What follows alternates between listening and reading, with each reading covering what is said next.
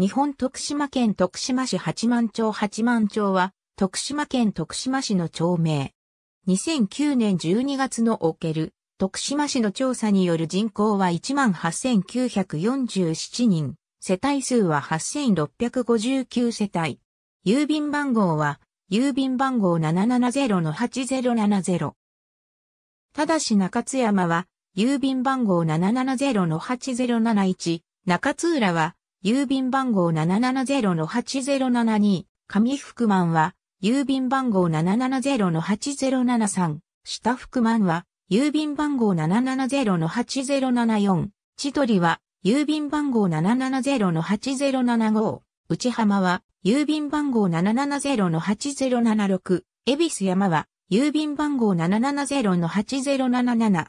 橋本は、郵便番号770-8078、大坪は、郵便番号770-8079、二条は、郵便番号770-8081、川南は、郵便番号770-8082、ホッケは、郵便番号770-8083、ホッケ国は、郵便番号770-8084、徳島市の中心部から、東部、市街地の南方にあたり、八幡地区に属する。市街地に近い農村地帯として発展したが、近年ではベッドタウンとしての開発が進み、双方が相入り混じった地域となっている。美山山系の南東に開き、南に高寺山あり、その間の平野部を、その瀬川、霊田川が通流する。北西部美山山系山麓を国道439号が上八幡町方面から市街地方面に向かって走り、市内東部を南北に JR 麦線、その西を徳島県道136号偶走徳島線が走る。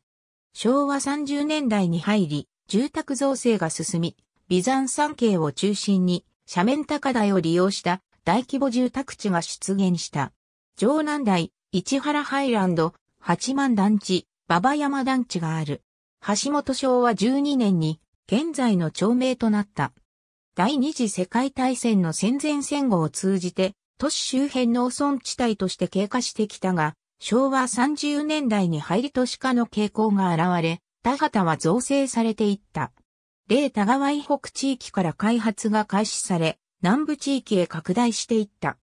ベッドタウンとしての宅地開発が主であり、美山山系を背にした中津浦、下福満地区の開発も早く、城南台をはじめとした斜面高台を利用した大型住宅団地も出現した。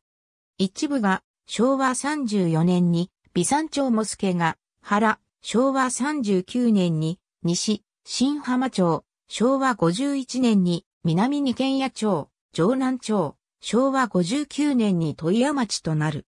文化の森駅二条徳島県道203号悪意、新居浜線徳島県文化の森総合公園地クリーン徳島市立八幡南小学校。ありがとうございます。